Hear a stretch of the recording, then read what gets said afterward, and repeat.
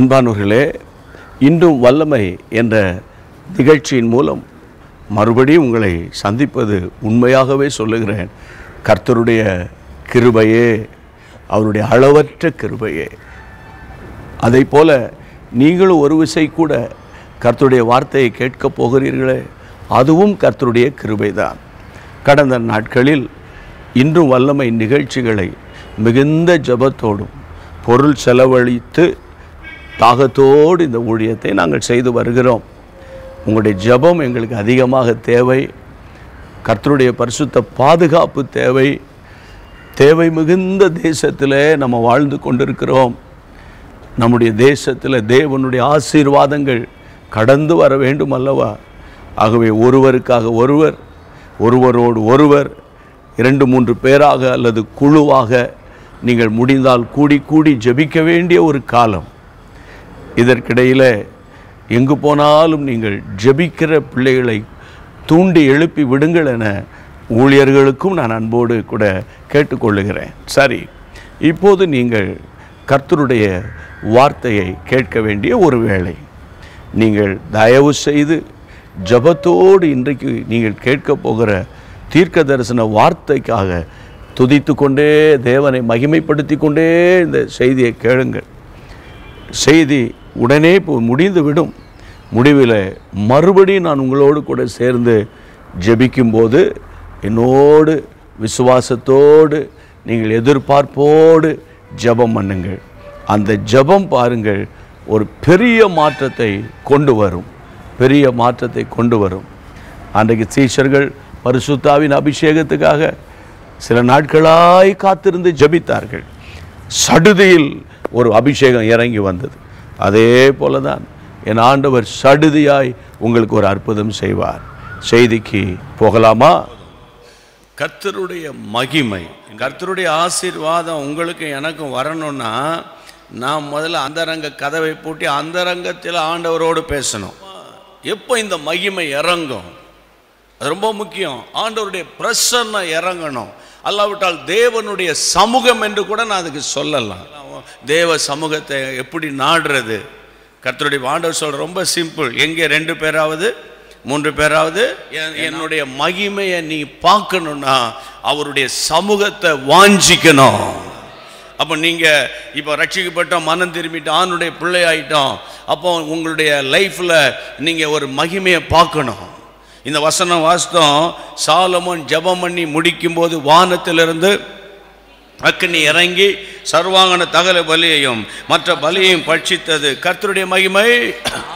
ஆலயத்திலிருந்து அவர் ஜெபம் பண்ணுறாரு அந்த ஆலயத்தில் ரெண்டு கைகளை விரித்து ஜெபம் பண்ணும்போது ஆண்டவர் பரலோகத்திலிருந்து அதை கேட்குறாரு. கேட்ட உடனே தம்முடைய அக்னியை ஊற்றுகிறாரு. அக்னியை ஊற்றின உடனே அந்த அக்னி இந்த பலிபீடத்தை பட்சிக்கிறது. அந்த ஆலயம் முழுவதும் தேவனுடைய மகிமையினால. அடுத்த வசனம் என்ன சொல்லுகிறது? வாசிங்க. கர்த்தருடைய மகிமை. கர்த்துடைய மகிமை கர்த்துடைய ஆலயத்தை நிரப்பினதினால் நிரப்பினதினால ஆசாரியர்கள் ஆசாரியர்கள் கர்த்துடைய ஆலயத்துக்குள் பிரவேசிக்க கூடாதிருந்தது. ஆ. அக்கினி இறங்குகிறதையும். கர்த்துடைய மகிமை ஆலயத்தின் மேல் தங்கி இருக்கிறதையும். இஸ்ரவேல் புத்திரர் எல்லாரும் கண்டபோது அதுதான் முக்கியம். இஸ்ரவேல் புத்திரர் இன்னொரு முறை இஸ்ரவேல் புத்திரர் இன்னொரு முறை இஸ்ரவேல் புத்திரர் எல்லாரும் பார்த்தாங்க. நான் என்ன உங்களோட இன்றைக்கி பேசுகிறேன்னா நீங்கள் நம்மளையே தாழ்வா நான் ஒரு அற்பமானவன் நான் ஒரு புழு ஒரு பூச்சி பூச்சினா மிதிச்சிட்டு போயிடுவான் புரியுதா? ஒரு காலத்தில் புழுவாக பூச்சாக தான் நம்ம கிடந்தோம். இன்னைக்கு தேவனுடைய ரட்சிப்பை நீங்கள் பெற்றிருக்கிறீங்க. ஆமே உங்களுக்கு பணம் அதாவது சில சொல்லுவாங்க பணம் காசுலாம் ஒன்றுமே இல்லையா? அதான் தெரியுமா உன்கிட்ட இல்லைன்னு? ஆனா உலகத்தில் இல்லாதது ஒண்ணு உங்ககிட்ட இருக்கு. அதான் ரட்சிப்பு. ஆமே அடுத்தது அடுத்தது ஒரு பெரிய பொக்கிஷம் அபிஷேகம். என்னது? பரிசுத்தாவியினுடைய அபிஷேகம் வல்லமை. அதை அந்த அபிஷேகத்தை வச்சு நீங்க என்ன வேணா பண்ணலாம். எப்படிப்பட்ட பொல்லாத எப்படிப்பட்ட பிசாசை நம்ம மேற்கொள்ள முடியும். ஆமைன்னு சொல்லுங்க. அப்போ கர்த்தருடைய பிள்ளைகளே இப்போ இந்த மகிமை எப்போ சாலமோன் ஜெபம் பண்ணும்போது ஒரு மகிமை இறங்குது. சாலமோன் ஜெபம் பண்ணும்போது அப்போ நீங்கள் விசுவாசிக்கணும் ஆண்டவர் ஜெபத்தை கேட்கிறவர் என் ஜெபத்தில் உம்முடைய மகிமையை அனுப்ப வல்லவராக இருக்கிறீர். கையை வைத்தாலே சொல்லுங்க. இப்போ நீங்கள் பழைய ஏற்பாட்டு காலத்துக்கு வாங்க. யாத்திராகமும் நாற்பதாம் அதிகாரம் முப்பத்தி நான்கு. அப்பொழுது ஒரு மேகம் ஆசரிப்பு கூடாரத்தை மூடினது. ஆ. கர்த்தருடைய மகிமை. வாசஸ்தலத்தை நிரப்பிற்று. வாசஸ்தலத்தை நிரப்பிற்று. மேகம் அதன் மேல் தங்கி ம், கர்த்தருடைய மகிமை வாசஸ்தலத்தை நிரப்பினதினால் நிரப்பினதுனால மோசே ஆசரிப்பு கூடாரத்துக்குள் பிரவேசிக்க கூடாமல் இருந்தது. வாசி வாசி வேகமாக. வாசஸ்தலிருந்து மேகம் மேலே எழும்பும் போது மேலே எழும்பும் போது இஸ்ரவேல் புத்திரர் பிரயாணம் பண்ண புறப்படுவார்கள். அப்புறம் மேகம் எழும்பாதிருந்தால் மேகம் எழும்பாதிருந்தால் எழும்பும் நாள் வரைக்கும் பிரயாணம் அது எழும்பும் நாள் வரைக்கும் பிரயாணம் பண்ணாதிருப்பார்கள். கவனிக்கணும். இப்போ மகிமை இறங்குறதுனால என்னப்பா பிரயோஜனம்? ஒன்று தேவ சமூகம்னு சொன்னேன். சரியா? நம்ம வீட்டில் பாருங்க அந்த ஆண்டவருடைய பிரசன்னம் வந்துருச்சுன்னா ஜெபத்தை முடிக்க முடிக்கவே முடியாது சில நேரத்தில். இப்போ நான் சொல்கிறது யாருக்கு புரியும்னா ஜெபம் பண்ணுறவங்களுக்கு தான் புரியும். புரியுதுங்களா? என்ன சொல்கிறீங்க அப்போது சில நேரத்தில் நீங்கள் பைபிளை வாசிச்சுட்டே இன்னும் ஒரு சாப்டர் வாசிக்கலாம். இதை வாசித்தரலாம். இதை இன்னொரு சாப்டர் வாசிக்கலாம். அப்படிங்கிற எண்ணம் இருக்கும். சில நேரத்தில் திறந்தோன்னே அப்புறம் வாசித்துக்கலாம் அப்படின்னு ஒரு எண்ணம் அந்த ஆண்டோருடைய மகிமை இறங்கிருச்சுன்னா அந்த பிரசனை வந்துட்டுன்னா நீங்கள் ஒரு நாளைக்கு ஒரு ஆறு ஏழு சாப்டர் கூட வாசித்துருவீங்க. விசுவாசிக்கிறீங்களா? அப்போ அந்த தேவ பிரசனை இருக்கணும். இல்லையா சொல்லுங்கள் அப்போ இன்றைக்கு சாலமோன் ஜெபம் பண்ணும்போது ஒரு மகிமை இறங்குச்சு. பழைய ஏற்பாட்டில் நான் அதற்கு இணையாக எடுத்து காண்பிக்கிறேன். அப்பொழுது ஒரு மேகம் ஆசரிப்பு கூடாரத்தை மூடியது. கர்த்தருடைய மகிமை வாசஸ்தலத்தை. எல்லாம் சொல்லுங்க கர்த்தருடைய மகிமை வாசஸ்தலத்தை நிரப்பினது. அப்போ கர்த்தருடைய பிள்ளைகளே உங்களுடைய வாசஸ்தலத்தை ஆண்டருடைய மகிமை ஆண்டருடைய மகிமை நான் ஏற்கனவே சொல்லிட்டேன் நீங்களும் நானும் கர்த்தருடைய ஆலயமாக இருக்கிறோம். உங்களுடைய ஆலயத்தின் மேலே என்னுடைய சரீரமாகிய ஆலயத்தின் மேலே கர்த்தருடைய மகிமை இறங்கி இருந்தால் அடுத்த ஊழியம் வசனம் சொல்லுகிறது மேகம் அதின் மேல் தங்கி கர்த்தருடைய மகிமை வாசஸ்தலத்தை நிரப்பினதுனால ம். மோசே ஆசரிப்பு கூடாரத்திற்குள்ளே அந்த அளவுக்கு மகிமை அவனை நிரப்பினதுனால அடுத்த வசனம் வாசஸ்தலத்திலிருந்து மேகம் எழும்பும் போது இஸ்ரவேல் ஜனங்கள் பிரயாணம் பண்ண- பிரயாணம் பண்ண புறப்படுவாங்க. மேகம் எழும்பாதிருந்தா எழும்பும் வரைக்கும் பிரயாணம் பண்ணாதிருப்பாங்க. இது எதை காண்பிக்கிறது? இது எதை காண்பிக்கிறது? இஸ்ரேல் ஜனங்கள் வனா அவங்களுக்கு ஜிபிஎஸ் கிடையாது நேவிகேட்டர் கிடையாது புரியுதா? கூகுள் கிடையாது ஒன்றும் கிடையாது ஒன்றும் ரூட்டும் கிடையாது. புரியுதா? சரியா? ஒன்றும் கிடையாது. மைக்ஸ் மைக்கும் கிடையாது. எல்லாரும் எழுமுங்க போங்க வாங்கன்னு சொல்கிறதுக்கு இன்றைக்கி மைக்கில் சொன்னால் கூட நம்ம கீழ்ப்படிய மாட்டோம். புரியுதா அவங்களுக்கு அவங்களுக்கு எதுவுமே எந்த டெக்னாலஜியும் கிடையாது. ஆனா இந்த லட்சக்கணக்கான மக்களை ஒரே ஒரு தேவ மனிதன் எப்படி நடத்தினார்? வசனம் சொல்லுகிறது பாருங்க அந்த மகிமையினுடைய விளைவு அந்த க்ளோரி ஆஃப் காட் கர்த்தருடைய மகிமையின் விளைவு என்னன்னா மேகம் எழும்பினால் என்ன அர்த்தம்? ப்ரொசீட் போகலாம். ஆமேன் வசனம் சொல்லுகிறது மேகம் எழும்புனா இஸ்ரேல் ஜனங்க என்ன பண்ணுவாங்க? பிரயாணத்துக்கு போவாங்க புறப்பட்டு போவாங்க. அப்புறம் மேகம் எழும்பாவிட்டால் அவங்க என்ன செய்ய மாட்டாங்க? அங்கேயே வெயிட் பண்ணிக்கிட்டே இருப்பாங்க.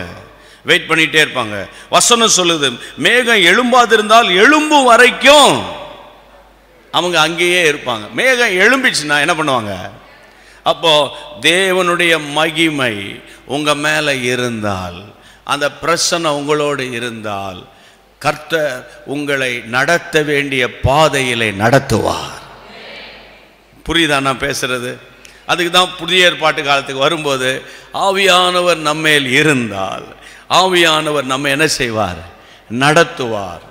ஏற்றபடி வேண்டிக் கொள்ள வேண்டியது இன்னதென்று தெரியாத போது வாக்கு கடங்காத பெருமூச்சோடு நமக்காக வே- இந்த இந்த மாதிரி அனுபவம் வந்து பதினஞ்சு நிமிஷத்தில் வந்துடாது புரியுதா? அதையும் சொல்லி கொடுக்குறேன். அரை மணி நேரத்தில் வந்துடாது இதுக்குன்னு டைம் எடுத்து ரிலாக்ஸ்டாக உட்காந்து நல்லா ஆண்டவரை துதிக்கணும்.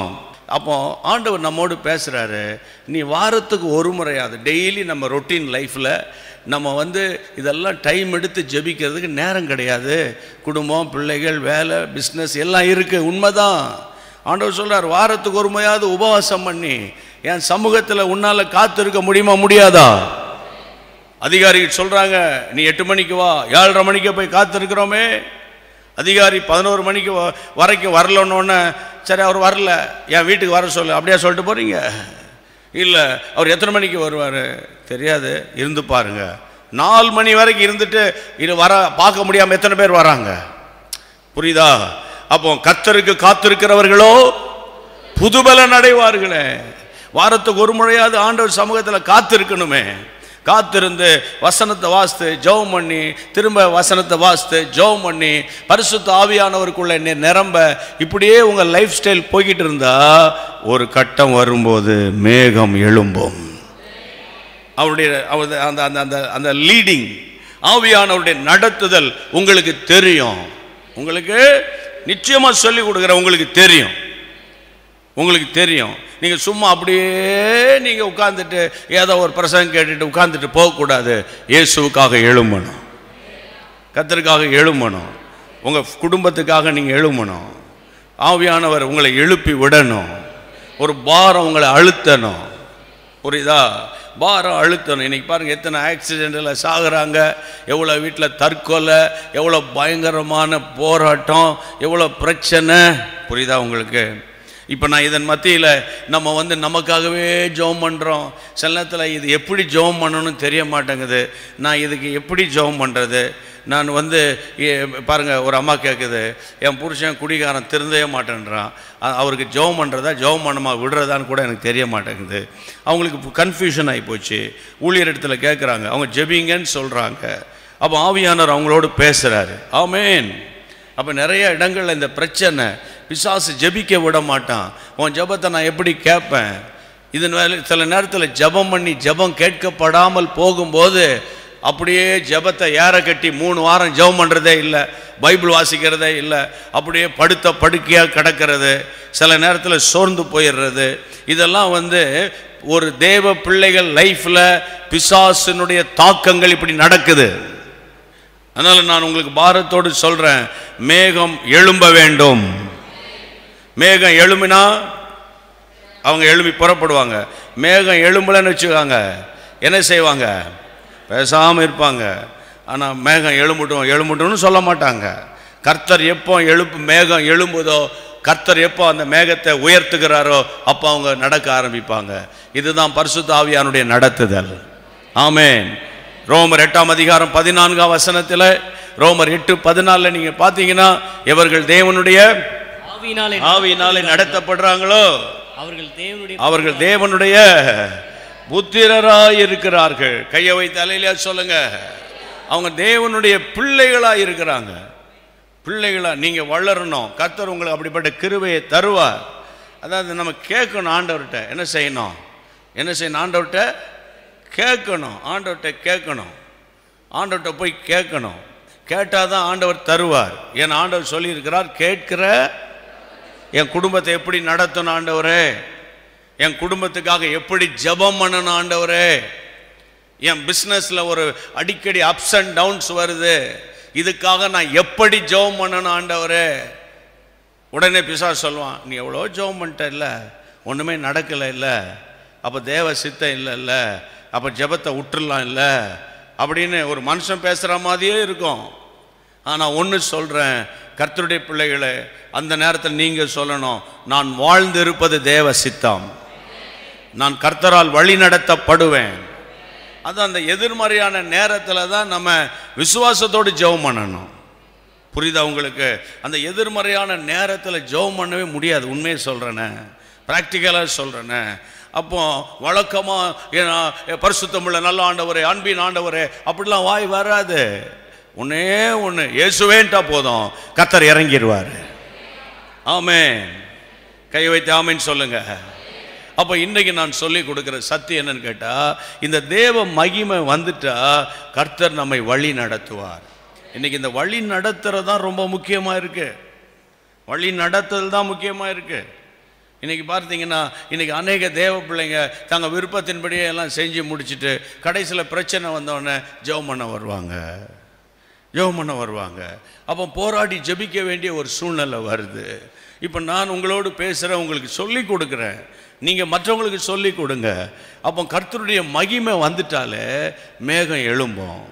மேகம் எழுமலைன்னா என்ன அர்த்தம்? அமைதியாக தோத்திரம் பண்ணிக்கிட்டே இருக்கணும்னு அர்த்தம். அலையிலியா சொல்லுங்கள் அலையிலியா சொல்லுங்கள் அப்போ கடைசியாக ஒரு வசனம் வாசித்துட்டு நம்ம ஜெபம் பண்ணலாம். யோவான் ரெண்டாம் அதிகாரம். நமக்கு எல்லாருக்கும் தெரிந்த வசனம் பதினோரா வசனம். இவ்விதமாக இவ்விதமாக இயேசு இந்த முதலாம் அற்புதத்தை கலிலேயாவில் உள்ள கானா ஊரிலே செய்து தம்முடைய மகிமையை வெளிப்படுத்தினார். அவருடைய சீஷர்கள் அவரிடத்தில் விசுவாசம் வைத்தார்கள். அதான். இன்னைக்கு நான் சொல்கிறேன் இப்போ நம்முடைய விசுவாசம் வளரணும். அதான் ரொம்ப முக்கியம் இன்னைக்கு. நம்முடைய விசுவாசம் வளரணும். சீஷர்கள் வாசிக்க டைம் இல்லை. லூக்கா பதினேழாம் அதிகாரத்தில் ஏசப்பாவை பார்த்து ஒரு நாள் வந்து கேட்டாங்க ஆண்டவரே எங்கள் விசுவாசத்தை வர்த்திக்க பண்ணுங்க. இன்க்ரீஸ் அவர் ஃபெய்த் என்னுடைய விசுவாசத்தை வர்த்திக்க பண்ணுங்க. கேட்கறது யாரு? சத்தமாக சொல்லுங்க. சிலர் வாயை திறக்காதனால தான் நான் சொல்கிறேன் இன்னொரு முறை சொல்லுங்க. சீஷர்கள் சீஷர்களுக்கு பாருங்கள் சீஷர்கள் நம்மளாவது வாரத்துக்கு ஒரு முறை சர்ச்சுக்கு போகிறோம் அவங்க ஏசப்பாவு கூட தானே இருக்கிறாங்க. அப்போ அவங்களுக்கு விசுவாசம் இருக்குமா இருக்காதா? அவர் ஜெபம் பண்ணால் சாப்பாடு கிடைக்குது. இல்லை ஜெபம் பண்ணால் பிசாசு ஓடுது. ஜெபம் பண்ணால் மண்ணா வருது. எல்லாமே வருது இல்லை. அப்போ அவங்களுக்கு எவ்வளோ விசுவாசம் இருந்திருக்கும்? ஆனால் அந்த சீஷர்கள் ஆண்டவரை பார்த்து கேட்குறாங்க ஆண்டவரே எங்களுடைய விசுவாசத்தை ஆண்டவரே எங்களுக்கு விசுவாசத்தை தாரும் கேட்கல நல்லா கவனிச்சுக்கோங்க. ஆண்டவரே எங்களுக்கு விசுவாசமே இல்லை அப்படின்னு சொல்லலை. என்ன சொல்றாங்க? ஆண்டவரே என்னுடைய விசுவாசத்தை வர்த்திக்க பண்ணுங்க விருத்தி அடைய செய்யுங்க. என் விசுவாசம் வளரணும் ஆண்டவரே. அதாவது விசுவாசத்தினாலே ஊழியர்கள் அற்புதங்களை செய்திருக்கிறாங்க. ஆமேன். நமக்கு முன்பாக நம்ம தமிழ்நாட்டில் ஊழியம் செய்த தேவ மனிதர்களெல்லாம் பெரிய பெரிய அற்புதங்களை செய்திருக்கிறாங்க. கையை வைத்து ஆமேன்னு சொல்லுங்க. அல்லையிலூயா அப்போ ஆண்டவர் பாருங்க சீஷர்கள் படகுல போறாங்க புயல் காட்டில் தத்தளிக்கிறாங்க. ஆண்டவர் என்ன பண்ணிட்டு இருக்காராம்? நிம்மதி அவர் பாடி தூங்கிட்டு இருக்காரு. அவரை தூங்குற நம்ம அருமை ஆண்டவர் போய் தட்டி எழுப்பி ஐயரே நாங்கள் மடிந்து போகிறோம். அப்புறம்? அதில் வேற பாருங்க ஆண்டவரே கொஞ்சம் எழுப்பி வாங்கப்பான்னு சொன்னால் கூட பரவாயில்ல. கவலை இல்லையான்னு கேட்குறாங்க ஏன்னா ரொம்ப க்ளோஸ் ஆகிட்டானுங்கள்ல சிலர் ரொம்ப க்ளோஸ் ஆகிட்டா நல்லா பேசுவாங்க நிறையா. அதனால் ஆண்டவரை பார்த்து கேட்குறேன் உமக்கு கவலை இல்லாமல் தூங்குறியப்பா. சீச்சர்கள் இயேசுவை தட்டி எழுப்பின போது இயேசுவின் வாயிலிருந்து வந்த வார்த்தை என்ன தெரியுமா? உங்கள் விசுவாசம் எங்கே? வேர் இஸ் யுவர் ஃபெய்த் என்னடா டேய் மூன்று வருஷம் சாப்பாடு போட்டு வளர்த்துருக்கனடா. உங்கள் விசுவாசம் எங்கடா? ஆண்டவர் கேட்குறாரு இன்னைக்கு உங்களை பார்த்து கேட்குறாரு என்ன பார்த்து கூட ஆண்டவர் கேட்குறாரு உன் விசுவாசம் என்னப்பாச்சு ரட்சிக்கப்பட்டு இத்தனை வருஷம் ஆச்சு மனம் திரும்பி இத்தனை வருஷம் ஆச்சு. எப்போ பார்த்தாலும் அவிசுவாச வார்த்தை. என்னமோ அது தெரியலையே ஏதோ வச்சுவிட்டான்னு தெரியலையே ஏதோ ஏதோ ஒன்று மந்திரம் வந்திருக்குன்னு தெரியலையே ஏதாவது எங்கே அந்த பிசாசு வந்துட்டான்னு தெரியலையே ஏதோ ஒன்று வச்சுருக்கான் ஏதோ ஒன்று வச்சுருக்கான். நான் ஒன்று சொல்கிறேன் வச்சிருக்கானோ இல்லையோ? வச்சிருக்கானோ இல்லையோ? உங்கள் பேச்சிலேயே அவன் வச்சிருவான். நம்மளை இன்வைட் பண்ணுறாங்க பிசா சொல்லுவோம் உனக்கு எனக்கு ஒரு இன்விடேஷன் வந்திருக்கு இப்போ. எனக்கு ஒரு இன்விடேஷன் வந்திருக்குது. ஒன்று பிசாசு சொல்லும். சொல்லும் சீனியர் பிசாசை பார்த்து சொல்லுங்க ஒரு இன்விடேஷன் வந்திருக்கு. ஏன்னா ஒரு அம்மா இன்வைட் பண்ணுது என்னைய. வச்சுருக்காங்க வச்சுருக்காங்கன்னு. நம்ம தாண்டா வைக்காமல் இருக்கிறோம். சீங்க போய் வச்சுட்டு வாங்கடான்னு. எல்லா விஸ் அவிசுவாசிகள் சொன்னால் கூட பாவம் அவங்களுக்கு தெரியாது. இயேசுவை அறியாதவங்க சொன்னால் போதும் அவங்களுக்கு தெரியாது. ரட்சிக்கப்பட்ட அபிஷேகம் பண்ண அந்நிய பாஷை பேசுகிறோம் சர்ச்சில் போய் தோத்துறோம் தோத்துறோம் தோத்துறோம் ஆமைன்னு சொல்கிறோம் எல்லாம் பண்ணுறோம் ஒரு கட்டு இருக்கு பிரதர் ஒரு அது இருக்குது பிரதர் ஐயா இருக்குதுன்னு தெரியல முழங்கால் போடு. போடு முழங்கால ஜெபம் பண்ணு முடியலையா இங்கே வா அல்லது பாஸ்டர்ட்ட போ. சில பேர் சொல்ல மாட்டான் பாஸ்டர்ட்ட போக மாட்டான் கேட்டால் அவர் பிஸியாக இருப்பான்ருவான். பிஸியாக தானே இருக்கணும் பாஸ்டரு? பாஸ்டர் எப்படி இருக்கணும்? பிஸியாக தானே இருப்பார்? அப்போ நம்ம ஒரு நேரத்தை ஒதுக்கி ஊழியர் எடுத்து போய் சொல்லணும். ஐயா இப்படி ஒரு போராட்டம் இருக்கியா? ஜெபம் பண்ண முடியலையா? ஆமேன். கையை வைத்து அலையிலே சொல்லுங்க. அப்போ இன்றைக்கு ஆண்டவர் நம்மோடு என்ன பேசுறாருன்னா ஆண்டவர் கேட்குறாரு எப்பா உங்கள் விசுவாசம்? ஐயோ இவ்வளோ புயலா காற்றா தெரியாத போச்சே தூங்கிட்டேன் வெரி சாரி அப்படியே சொன்னார் ஆண்டவர். சொன்னாரா காற்றானாலும் புயலானாலும் இயேசு நம்மோடு இருந்தா கரை சேருவோம். சொல்ல புரியுதா? காற்றானாலும் புயலானாலும் இயேசு நம்மோடு இருந்தா கரை சேருவோம். ஆமேன். அதுதான் கிறிஸ்தவ வாழ்க்கை. அதுதான் கிறிஸ்தவ வாழ்க்கை. கையை வைத்து ஆமென் சொல்லுங்க. நான் என்ன சொல்கிறேன் கத்தருடைய பிள்ளைகளை? இயேசு சொல்கிறார் வேர் இஸ் யுவர் ஃபெய்த் அப்படின்னா அவங்களுக்குள்ள அடிக்கடி இந்த ஃப்ளக்சுவேஷன் ஆகிட்டு இருக்கு கரண்ட்டு சுத்தமாக போயிட்டா கூட கரண்ட் இல்லைன்னு சொல்லுவான். இந்த கரண்ட் ஆஃப் ஆகி ஆஃப் ஆகி வரும் தெரியுமா? அப்போ என்ன ஆகும் திடீர்னு ஹை வால்டேஜ் வரும். அப்புறம் சரன்னு பல்பு அப்படியே டிம் ஆயிரும். என்ன ஆகும் தெரியுமா? தெரியுமா தெரியாதா? என்ன ஆகும் அடுத்த நாள் சொல்லுவாங்க என் ஃப்ரிட்ஜு அவுட் ஆயிடுச்சு என் ஏசி போயிருச்சு? அது இது சொல்லுவாங்களா இல்லையா? சொல்லுவாங்களா இல்லையா? ஆனால் தான் சிலருக்கு சர்ன்னு விசுவாசம் வந்துடும் ஓ ஹாலே லூயா ஹாமேன் அடுத்த வாரம் பார்த்தா அட்ரஸே இருக்க மாட்டான். கிராம ஊழியத்துக்கு வரியா? ஆமாம் வரணும் ஆமாம் வரணும். பிரைஸ் கார்டு ஆமாம் வரணும். கடைசியில் அவன் இருக்க மாட்டான்.